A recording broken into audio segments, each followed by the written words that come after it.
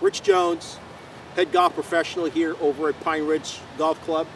Today I'm going to be talking about a bunker drill or bunker lesson that will help you get out of the sand. I get asked all the time, okay? Folks come up to me and says, Jonesy, I just don't like the bunker. How do I get out of the bunker? And I often tell them, I said, the bunker shot is probably by far the easiest shot in golf. And they go, really? And I said, yeah, well, think about it. This is the sand, right? And if I can just focus on getting the sand out of the bunker and not really focusing on hitting the golf ball and just focusing on the sand, then the sand will somewhat elevate and get that ball um, to my intended target, which is that green. First order of business when you're in the bunker, getting out of the bunker, first priority. Second priority is to get it on the green. And the third is accuracy we focus on, getting it close to the hole. So we're going to talk about the setup and how we approach a shot. So I've got a 56 degree, and you can use a sand wedge, you can use a lob wedge. Different loft is going to get you uh, to your goal.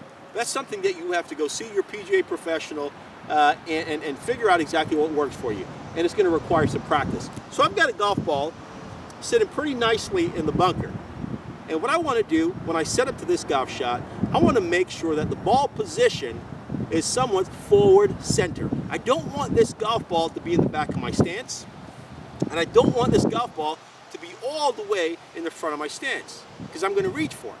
And if it's too far back, it's going to be shallow and it's going to come out pretty hot and it's not going to, it's going to go too far. I don't want that shot. I want a shot that's going to come out high and soft. So I'm going to open my stance, okay? I'm going to position my body left of my target. I'm going to open my club face. My ball position is going to be forward center. I'm going to have most of my weight on the forward foot, okay? Forward foot or the, or the lead foot. So here's what I'm going to do. I'm going to swing through and make sure I get that sand out of the bunker. Obviously, you're practicing, so you can go ahead and take some nice practice swing out of the bunker when you're doing this, but don't do this when you're playing.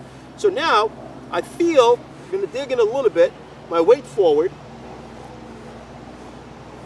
left of my target. I'm just to go ahead and swing all the way through it. And that ball came out nicely.